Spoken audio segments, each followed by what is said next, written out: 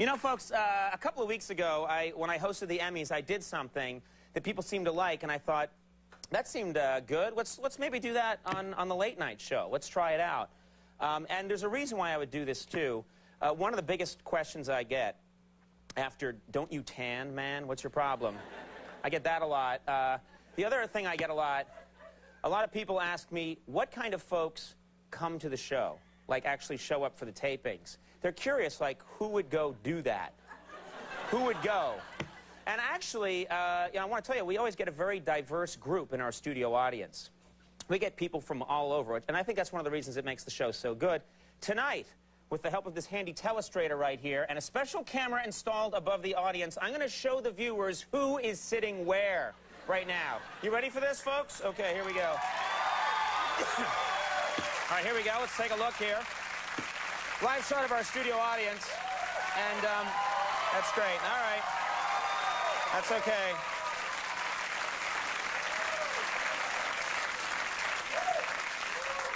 Let's not get that excited. Uh, not that many people are watching. All right. It's 12.30. People are like, yeah! 11 people saw me, dude. Maybe even 14.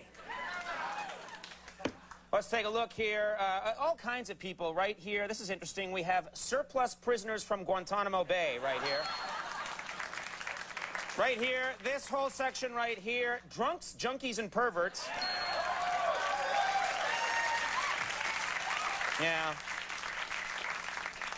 The sweatshirt's a giveaway. Right here, people who showed up to avoid a free screening of Madonna's Swept Away.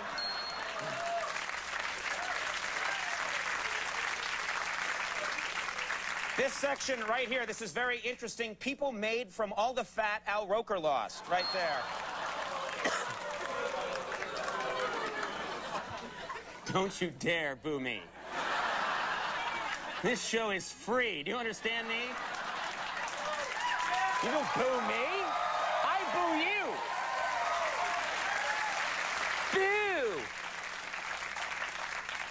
Right here, this is embarrassing, but at least it fills out the audience. These are people who showed up because they thought we were demonstrating the George Foreman Grillmaster 3000. Yeah. Right back here, this whole section, men who have been engaged to Julia Roberts.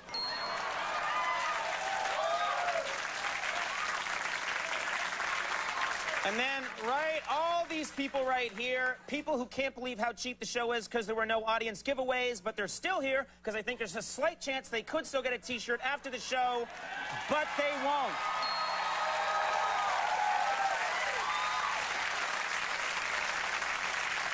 There you go. Thank you. That woman doesn't even work for the show. She's just stealing it. All right.